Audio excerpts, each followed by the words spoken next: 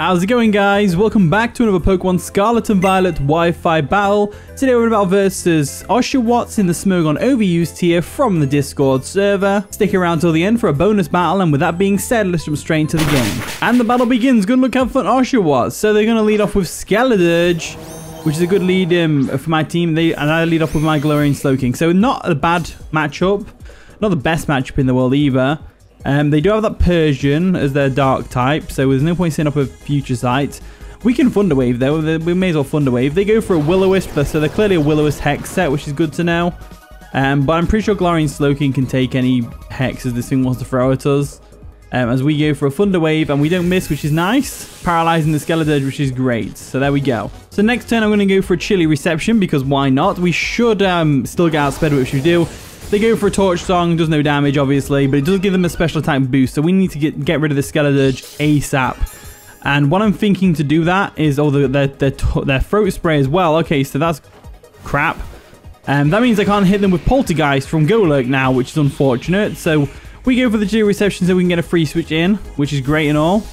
Um, but what are we going to take on the Skeledirge? That's the real question. I want to go Head Smash Arcanine. And I am going to go ahead smash Arcanine. I think that's the way to go forward. So let's go ahead and do that. Arcanine comes through.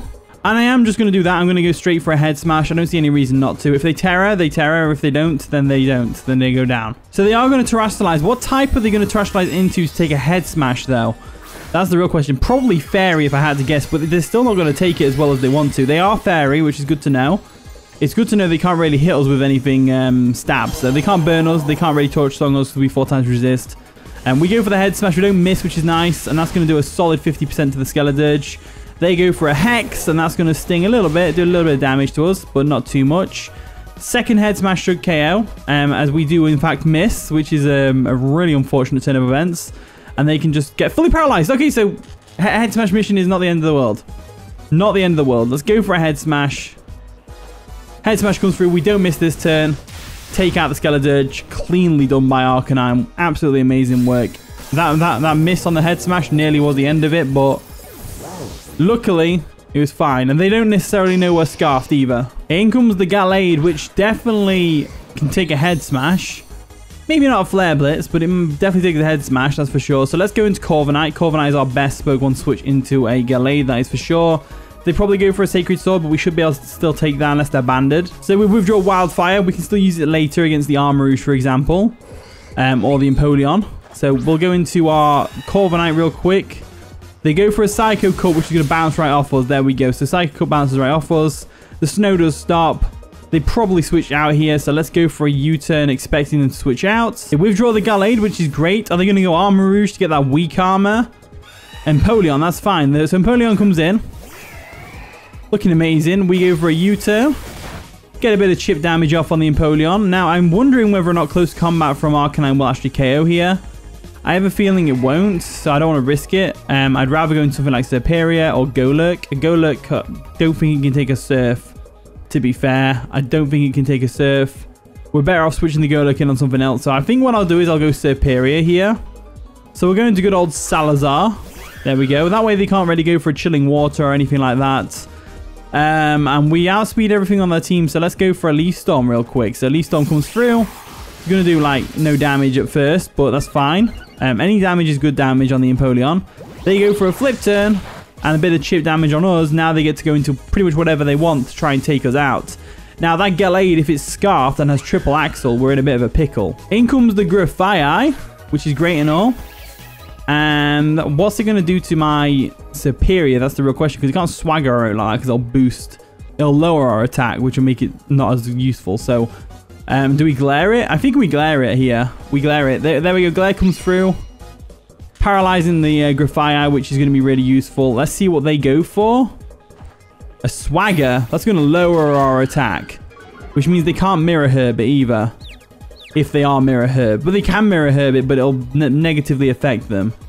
So they're not Mirror Herb, which is good to know. We're at plus 2 special attack. Let's go for a Dragon Pulse real quick. We'll break through Confusion, and even if we don't, it doesn't do too much damage to us. There we go. Dragon Pulse comes through, and that should do a lot of damage to the Grafaiai. There we go. Grafaiai goes and takes a lot of damage. Poison Jab comes through, though. That nearly KOs us. So we need to break through this confusion, or we could have switched out, but, you know, it's whatever. Then we snapped out confusion, which is great. Serperior's coming through with the Dragon Pulse, which is amazing. Taking out that Grafaiai at plus two special attack. We're in a pretty good position with Serperior right now. That is for sure. So let's see how this plays out. Gallade comes in. So that thing's definitely Scarfed, or it has Shadow Sneak, one of the two. Um, we 100% switch out into Corviknight here all the time because it just does so well against this Gallade. So they withdraw Gallade, which is good. They're going to make a double. Are they going to go Armarouge expecting... Yeah, they go Armarouge expecting the Corviknight to come in, which is a very good play. Um, because now I bring Corviknight in, we out we get outsped and we get KO'd by Armor Cannon, no problem. So we do need to keep Noctis around. So what instead I'm going to do is expecting them to... They probably can't Mind expecting a switch. So I'm going to switch back into Serperior. That way if we go down with Serperior, it's not the end of the world. We get a free switching with Arcanine. And if they do go for a Calm Mind, we can glare it. So we withdraw our Corviknight. We're going to need that for the Gallade and potentially the Persian, depending on the set. So um, Salazar's going to come in, the Serperior. Well, they go for an Aura Sphere, which is uh, probably expecting something else to come in. Maybe the Arcanine to take an Armor Cannon. Um, but we weren't going to do that. So no way, Jose. No way, Jose. Um, we could do a couple of things here. We could go Blastoise um, and Shell Smash. Or go Arcanine. I'm going to go Arcanine. I'm going to go for the Head Smash. They can't Tera because they already Terra the Skeledirge. Um, which is great. So now we go straight for a Head Smash just to see how much damage it's going to do. It doesn't miss, which is nice. And it cleanly takes the Armarouge down to its Sash. Which is good to know it has a Sash. Um, which means it's probably weak armor. It is weak armor, which is very unfortunate. And that's going to give them a nice speed boost. They go for an Aura Sphere, and Arcanine goes down. So Arcanine did pretty good this game. You know, it, it took out the Skeledirge somehow. Um, and it's took the Armarouge down to its sash. But the Armarouge is now very fast. Very fast. The problem they've got with the Armarouge is, though, it can't really do much to Galarian Slowking. So I am going to go into the Slowking right now and go for a Sludge Bomb. There's no real reason not to. So there we go. Slowking comes in. They can't touch us. We 100% of the time goes for a Sludge Bomb here because it, we, we can't mess around with the Armarouge. They go for an armor cannon to get as much damage on the Slowking as possible, which makes a lot of sense, as it does a clean third of our HP. But we go for a Sludge Bomb, and that's going to take out the Armarouge, no problem. There we go. So Sludge Bomb comes through, Armarouge goes down. Lovely job by uh, Galarian Slowking right there. It covers the Persian. So Persian's an interesting one here. Um, I don't see any reason not to just stay in and go for a Thunder Wave, because even if they knock off, then I'd rather have Galarian Slowking go down because it's not, it can't touch the Empoleon or the Gallade. So we may as well just Thunder Wave here. They go for a nasty plot, which is interesting. So if we can get this Thunder Wave off, we're actually going to be in a much better position with this. So let's go for a Thunder Wave. We miss. Oh dear, that's a that's a nasty plot Persian right there. So what do we do here? We could Tera Dark, but that would make us really weak to that Gallade if we did that. So I'm leaning towards... I think we go for another Thunder Wave. I think we can live a Dark Pulse. They go for a Dark Pulse. Takes us cleanly out. So I don't think we can live a Dark Pulse. Change my tune real quick there. So Persian's looking terrifying. It is Life Orb as well, which is good to know. Um, I think our best bet is Golurk. So I'm going to go Golurk. And I'm going to have the Tera Fighting. Pretty much. I'm going to have the Tera Fighting. We Tera Fighting, we Dynamic Punch, and we go from there. So we Terastallize into a fighting type. Hopefully they don't have anything to hit fighting types. Um, I don't think it gets Dazzling Gleam. I think here they will go for a Dark Pulse here, which we can definitely take as a Tera Fighting Go Golurk. Like so. And uh, they go for a Hyper Voice, which is going to sting. Doesn't get the KO because it's not stabbed. And we, uh, with our No Guard ability, are able to hit the Dynamic Punch, Tera Fighting, Dynamic slap more like. As the Golurk slaps the Alolan Persian silly, which is amazing. Gallade comes in. This thing definitely takes care of the rest of my Golurk, that's for sure. But we still need Golurk for the likes of the um, Empoleon because we can definitely take a Surf and go for a Dynamic Punch on that thing. So I am going to switch into Corviknight here to try and take care of this Gallade. Um, like I said, they more than likely go for a um, we well, we more than likely see a U-turn go through here. So um, they go for a Psycho Cut, which can do notes. They have to switch out. I'm pretty confident that the Gallade's choiced in some way. because they usually are. So we go for a U-turn here. They do withdraw the Gallade going into the Empoleon, which means we get a free switch into Golurk, which means we get a free dynamic punch off, which is amazing. So Empoleon comes in, we get a free U-turn, like so. And we've got a couple of options. So it, we, we could predict them to switch into the Gallade. I think I think Golurk can do something here. So I'm gonna get what I'm gonna do is because the Empoleon is weakened, Instead of going for a dynamic punch, I'm going to go for a poltergeist because A, poltergeist should carry the Empoleon from here. B, the Gallade will switch in and then that'll go down. So let's go for a poltergeist. Um, they go for a Hydro Pump. I didn't realize they'd have Pump over Surf. That's going to take out Golurk, so that's unfortunate. But um, not the end of the world. It is not the end of the world. Golurk does go down. But if Golurk couldn't take the Empoleon out, then Golurk was pretty much useless to us anyway. So we'll go into Blastoise real quick. Blastoise should be able to win this for us with a Shell Smash. I'm pretty confident. So let's go for the said Shell Smash. So we go for the Shell Smash. We should be able to take a Grass Knot from this thing if we have Grass Knot. Um, because we are going to get the White Herb, which is going to boost our defenses back to neutral. And there's the, there's the boost that we need. The special attack and speed mainly that we need. There we are. And then the White Herb is going to activate bringing our defenses back to normal, which is great. So we should be able to take this Hydro Pump to the face, no problem, as it does nothing. Absolutely nothing. So we could actually Shell Smash again, but I don't think we need to. Let's go for the Aura Sphere. Aura Sphere comes through, and Empoleon goes down, which is fantastic. There we go. So Empoleon down and out. We've got to surf the Gallade in the face now, and we should win with Blastoise. If not, we win with Corviknight. So definitely a W with this team. Definitely a W with this team, I think. As uh, we go for a surf now, and I should do a lot of damage to the Gallade, but they can probably Leaf Blade us or something. So we surf. They take it. They do take it. They Sacred Sword. And that's going to cleanly take us out. So I'm guessing they're Choice Banded by that damage. Um, but like I said, we definitely win with Corviknight here. So let's go into Corviknight real quick. Pretty confident Corviknight can take any hit from this Gallade, at least once. So I'm going to U-turn just to make sure we don't get any um, recoil damage. As that Sacred Sword does a lot of damage, the Rocky Helmet is going to be able to finish off the Gallade. Well, not really, but the U-turn is afterwards. And that's giving me the game. So GG, Oshawott, that was a fun one. Pretty close. Corviknight's like barely lived on a sliver of HP, but you know, it is what it is. GG, Oshawott, that was a fun one. And we have ourselves a bonus battle. Today we're about a bonus battle versus Strawberry, also known as Rainy Days from the Discord server in the Smogon Monotype tier. So we're doing Mono Dragon versus Mono Ghost, and if you're wondering why they've got Flutter Mane and Annihilape, they're actually allowed in Monotype, um, strangely enough. In Monotype, you can't Terra either, so there'll be no Terastallization in this battle, but they can bring like Mane and stuff like that. So that it's going to be a pretty interesting game, that's for sure. Um, Ghost versus Dragon. Who do you think will win? Let me know in the comments section down below. And with that being said, let's jump straight into the game.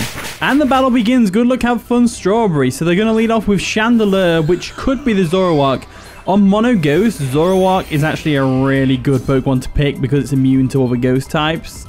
Um, it's a really good Pokemon to have on Mono type. So knowing that they would lead with something specially offensive because the majority of their team is, except from Ceruledge and Annihilape, I figured my Assault Vest um, Dragalge could do pretty well here. So what I'm going to do is I'm going to drop a Draco straight away just because it'll do a lot of damage. They do go for a Shadow Ball, which they still could be the Zoroark, and that does a lot of damage um, considering we're Assault Vest. But this Adaptability Draco Meteor is going to cleanly KO the Chandelure, which is amazing. However, it's actually the Zoroark. So the Zoroark was disguised as the Chandelure, and it's going to go down. They obviously didn't expect me to stay in and go for a Draco Meteor, um, but I did. However, this does leave us susceptible to the likes of the Annihilape or the Ceruledge. In comes Kurahana, which is the Annihilape. Um, we know it's definitely the Annihilape because the Zoroark's gone down. Now, I don't want to attack this thing just yet. Because I know it's going to get that Rage Fist boosted. And that is not going to be good for us. So what I'm going to do instead is I'm going to go into the Chomp. I'm going to go into the Chomp. I'm going to get my Rocks up. And I'm going to get my Spikes up if I can. So, because they don't have a Hazard Clearer. Because Monotype's very hard to have Hazard Clearers for. They go for an EQ though, which is going to bounce right off my Garchomp. I'm thinking, yep, there we go.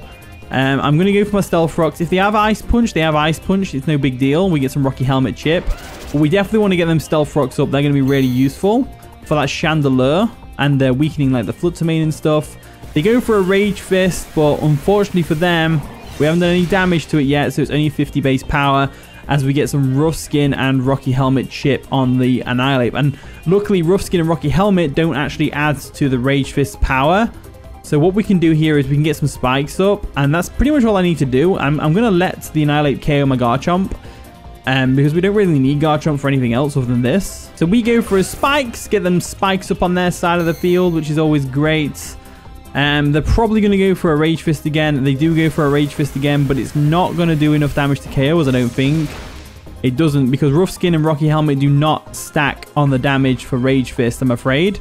So we're getting some nice damage off on that thing. We go for another spikes here 100% of the time. Spikes come through, we get two layers up, which is great. And I think that is the maximum we're going to get, because this Annihilape's going to definitely take us out with another Rage Fist this turn. As they go for a Drain Punch instead, getting that health recovery back, which is great for them because it means they're going to have a little bit more HP on their Annihilape um, for us to take care of. So what we can do now is, though, once they've gone into some, whatever they go into now, if they stay in with their Annihilape, which they have got a berry for... is that going to boost the speed? It boosts the speed. Oh, that's not good. So that means that we can't go Dragapult because Dragapult's way too frail for a Rage Fist to not KO us. So what do we do? Do we go into the Raging Bolt or do we go into the Goodra? No, Goodra's not a good one. Dragalge could be good. I think we go Dragalge just purely out of the fact that they, they can't go for a Drain Punch on us. They have to go for a Rage Fist or an Earthquake. Oh, they've got Earthquake actually. They've got Earthquake actually. I'm pretty confident we can take an Earthquake, so I'm going to go for a Draco Meteor right now. They do go for an Earthquake. I'm pretty confident we can take that. No, we can't. Never mind. I'm completely overestimating Dragalge. I forget. It's a specially defensive monster, physically defensive paper. but they have a speed boost, so we have to be really careful with what we do here. So um, I think I go Raging Bolt. I know uh, I know they have a Earthquake, but we do have Air Balloon on this thing. So we'll float in the air with this Air Balloon. And we'll just go for a Thunderbolt straight up. We'll go for a Thunderbolt because they might switch out expecting a Thunderclap. They go for a Drain Punch, which is going to do a nice bit of chip and is going to recover some of their health back, which is really unfortunate. But I'm pretty confident a Thunderbolt will KO this Annihilape from there. Um, our, but our balloon does pop. Thunderbolt comes through. And that takes out the Annihilape. So the Annihilape posted me a bit more of a threat to my team than I wanted it to be. The Dragalge going down is really unfortunate because that Assault Vest would have really helped against the Flutter Mane. But it's not the end of the world. In comes the Chandelure, and we know it is the real Chandelure because it's um, the Zoroark's dead. So we're going to get hurt by the spikes and the Stealth Rock, which is amazing. We can go for a Thunderclap potentially or a Calm Mind. I'm going to go I'm going to I'm going to go for the Thunderbolt because they might trick us. We outspeed them somehow and we KO the Chandelure with the Thunderbolt. So I'm guessing that was a bulky Chandelure of some kind. By the way, we outsped it, but I'm not complaining. Okay, in comes Ceruledge, the Gourmet. And the, these Stealth Rocks and Spikes are really going to start digging into this team. So um, they definitely outspeed us with the Ceruledge. They might predict the Thunderclap and go for a Swords Dance. But I'm going to go for the Thunderclap anyway. Because I don't want to get hit by that Poltergeist. Um, well, not Poltergeist, but whatever they decide to go for. Um, they go for a Shadow Sneak. We are prioritizing, meaning that they're slower. Somehow. Huh. They might not they might not Shadow Sneak now. They might Sword Dance. Let's go for a Thunderclap again. No, wait, no. The Raging Bolt is just putting in the work right now. So this Ceruledge is going to go down. Down, down, down he goes. And now, I, if I were them, I would go into the Flutter Mane, personally. Flutter Mane comes in the Great Friend. It's not going to take as much damage from the Stealth Rock Spikes as the uh, Ceruledge did. I mean, the Spikes is just the same, but the Stealth Rocks is mainly the big difference. Um, I know we can't Oh, the photosynthesis. They were going to be booster energy. Nice. In special attacks, this thing now hits really hard. Uh, let's go for a Thunderclap anyway. There we go, just to get some damage off. It won't KO the Mane. Um, as they go for a Moonblast, and that's going to KO the Raging Bolt, no problem. So Raging Bolt does go down. They can still pull this back with Flutter Mane because it's very fast. However, I'm pretty confident Goodra can take it out with a Heavy Slam, so I'm going to go Goodra. So we're going to Blooper, the Goodra. There we go. And I'm going to go for a heavy slam. There's no real reason not to, because if they switch out, Stealth Rocks and Spikes will take them out on the next switch in. I think. They go for a Moonblast. It's boosted special attack. It's going to do a decent bit of chip, but... we still live and we go for a heavy slam, which is definitely going to KO that Flutter Mane, no problem. So Flutter Mane goes down. And now we've just got the Gholdengo to worry about, but we can't touch the Gholdengo with Goodra, and we can't really switch in another Pokemon. So if this is a nasty plot Gholdengo, we're in a bit of a, a bit of a bit of a bind, to be honest with you. So Gholdengo comes in. Stealth Rocks and Spikes are obviously going to hurt it a little bit. Not too much. Uh, we can't Body Press. We can't Heavy Slam. We could... no. We're going to have to... Hmm. We're going to have to find a way to get into our Dragapults without them nasty plotting everywhere. So let's go into Kyurem. Kyurem should be able to handle this. Um, not handle it. It gets taken out by Make It Rain, but it, it gets us a free switch into Dragapult, which is what we're after. So we'll bring Kyurem in now. Kyurem cannot touch this Gholdengo, that's for sure. They go for the nasty plot. Um, which is definitely their win condition. So I'm going to go for an Icicle Spear now just to get some damage off. And we do outspeed, which is great. We are loaded dice, so this should hit at least four times. Hopefully five, that'd be nice. Two. Right, four times, which is fine. There you go for Make It Rain. Flash Cannon. They don't, oh, they don't want the special attack drop from the Make It Rain. That makes sense. As that's going to clearly take out, cleanly take out the Kyurem, so that's unfortunate. So, now though, all we have to do is go Dragapult and we can choice specs. Because I couldn't switch the Dragapult into a Gholdengo. It could Shadow Ball, you know. Could have done anything really. Um, so I wanted to just do that. And then now we go for a Shadow Ball. And that should take out the Gholdengo, no problem. Shadow Ball comes through. Dragapult wins the game.